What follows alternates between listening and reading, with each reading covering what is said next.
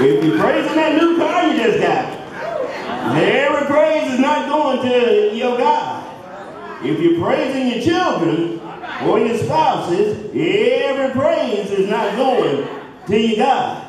You're going to hear some songs today. And sometimes we just look at songs as entertainment. But if we sing it to our God, those are promises. Don't sing them if you ain't believing them. Don't sing them if you can't live up to them.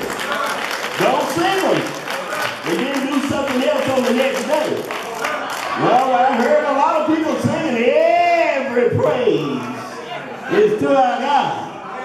I just want to know if you really mean it or you just sing it. New Vision, are you're ready somewhere?